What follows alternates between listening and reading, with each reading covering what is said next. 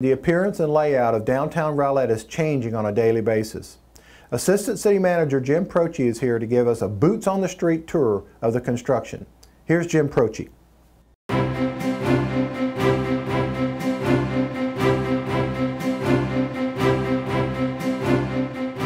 How's everybody doing today? Hi, it's Jim Proce here.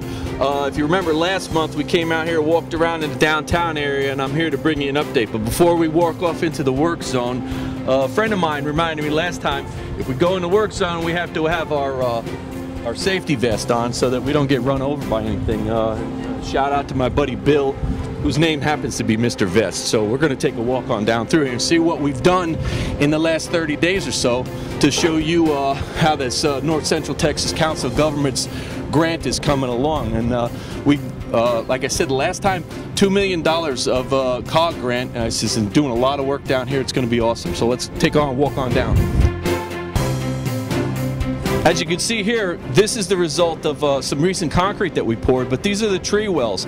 And underneath all this concrete is where we have that Silva-Cell technology employed that's going to make sure that these trees are going to grow, they're going to be vibrant, and uh, they're going to have an opportunity to have their roots spread out within them without having to do any damage to the concrete by lifting and heaving. So we're going to walk on down through here and look at some of the other.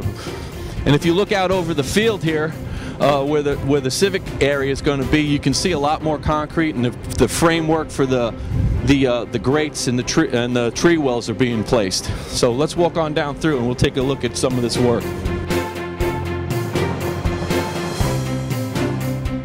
Right behind me here, you can see some of the planting uh, boxes that are, are in progress. Uh, and you're going to see some uh, landscaping eventually is going to go in once all this gets built up. Uh, but it's really shaping up really well uh, starting to take form of what ultimately is going to be uh, a nice area to enhance the, the appearance downtown. I'm over here across from the library and uh, in front of the Development Services building. And if you look down towards the clock tower and from here to there, there's a lot of the, the sidewalk have been, been formed up.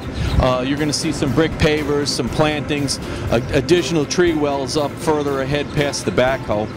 And uh, in the month to come, what you're going to see is once this concrete's poured and all the pavers start going in, is you'll see the trees that are going to be planted, and so that's what you got to be looking out for when you come down through here, because it's really going to take up take a form and, and really look awesome. Well, there you have it in a nutshell. Uh, this is kind of a snapshot of what's to come. And uh, as you're passing through the downtown, keep an eye out for when the trees start going in. It's going to really look great. Uh, we're looking forward to it. The brick pavers, you can see a lot of pedestrian space down here. It's going to be a real friendly place to come down and, and uh, enjoy the downtown environment. So uh, until uh, next month, we'll see you.